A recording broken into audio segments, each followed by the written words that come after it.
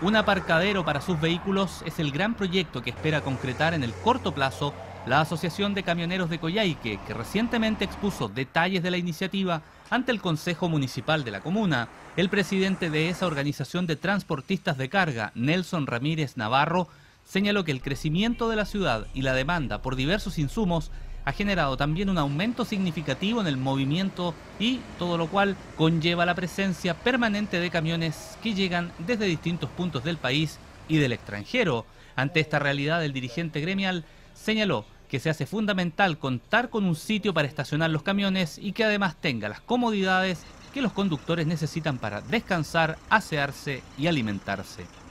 Y hoy día acudimos al Consejo Municipal, bueno, ya habíamos tenido otras reuniones con el alcalde para ver el tema de la parqueadero de camiones. Y gracias a Dios, como te dijera, tuvimos una muy buena acogida de parte del Consejo, así como parte del alcalde, y ya nos, ya nos todos en, a, arreglando el problema del parqueadero, que todos están con muy buena voluntad política, muy buena voluntad de conseguir los recursos para poder llegar a buen término con esto que es el aparqueadero camiones, porque realmente es una, no sé, pero es una solución para toda la ciudad, para, para nosotros, y a la vez es un descongestionamiento vehicular de la ciudad, qué sé yo, ya no vamos a molestar a los vecinos, vamos a estar más ordenados nosotros, la ciudad se va a ordenar mucho más, que esto es un bien para la comunidad en general. Por su parte, el concejal Marcos Sandoval Carrasco señaló que el proyecto le pareció muy bien formulado y a su juicio se trata de una propuesta interesante en términos productivos, pero que requiere de un significativo financiamiento. La verdad que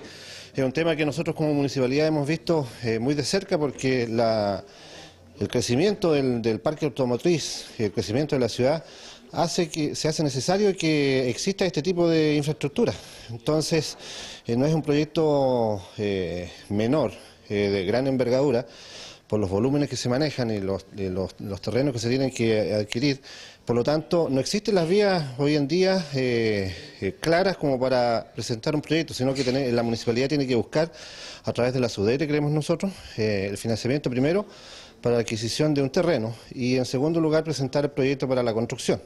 de tal manera de, brindar a nuestra comunidad un bienestar, en el sentido de que los camiones no transiten, los camiones de alto tonelaje no transiten dentro de la ciudad con los inconvenientes que ello involucra, con el tema del tránsito, ¿no es cierto?, eh, eh,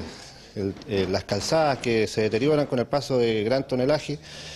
además, este proyecto permitiría, según lo planteado por los dirigentes, permitiría un un gran número de mano de obra, ¿ah? porque habría que eh, también incorporar el transporte desde el aparcadero a la ciudad de Coyhaique. Por lo tanto, eh, considero yo que es un tema muy importante, el Consejo en pleno lo está apoyando, es un tema netamente productivo.